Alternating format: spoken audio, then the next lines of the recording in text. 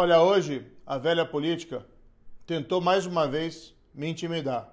Advogados do PT conseguiram lá uma diligência para realizar uma busca e apreensão lá na minha casa. Foram até lá, intimidaram minha filha. Tudo isso porque eles queriam aprender material de campanha, santinho. E o que, que eles alegavam?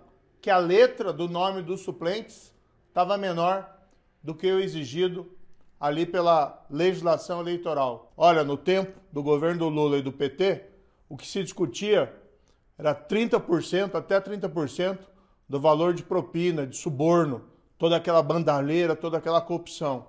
Agora vem para cima de mim discutir percentagem, 30% do tamanho de letra. Se achavam que com isso iam conseguir me intimidar, pelo contrário, eu não aceito qualquer tentativa de intimidação.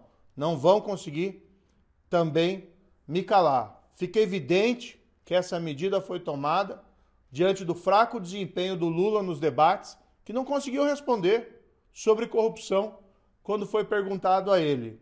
Olha, o tema dessa eleição não é o tamanho do santinho do Moro. O tema dessa eleição é o tamanho da corrupção do PT.